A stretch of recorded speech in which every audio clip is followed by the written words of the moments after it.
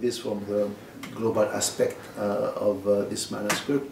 Must have in mind also that uh, at this time, so beginning of the 12th century, uh, uh, we were at the maybe the highest moment of um, the what tried to do the monk of uh, Cluny, you know, uh, since the the middle of the 11th century, so around 70 years uh, before, as the monks of Cluny uh, uh, have reorganized all the religious life and also the administrative life in Spain.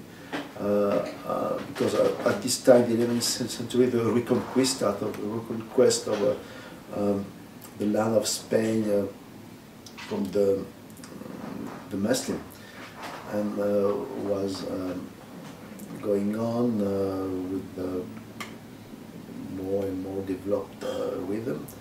And so uh, they had to reconstruct or to construct all the ecclesiastical um, administrative aspect of, of, of, the, of the, new Church of Spain because during the, the Muslim administration the, there was a tolerance for the Christians but they didn't have bishops and all these things they just had the church doing the, the um, rite and that's all. And so the Cluniac uh, monks um, introduced uh, the the Roman liturgy, the Frankish Roman liturgy we say now, uh, in Spain, and uh, they created, in fact, also the the, the pilgrimage to Santiago because Santiago of Compostela was a very deep symbol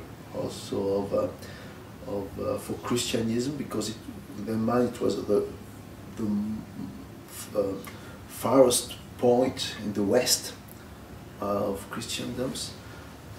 Also, uh, the apostle James was supposed to uh, have um, brought Christianism in, um, in, in Spain, and uh, St. James had, had an importance very uh, high in, uh, at this time because um, it was one of the three apostles saw uh, Christ for, during the transfigurations with uh, St. Peter, St. James, and uh, St. John, his brother.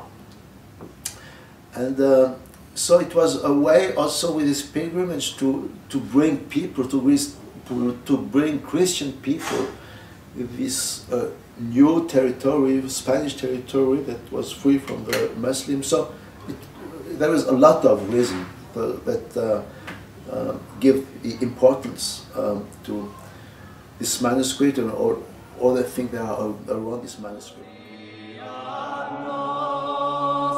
Oh,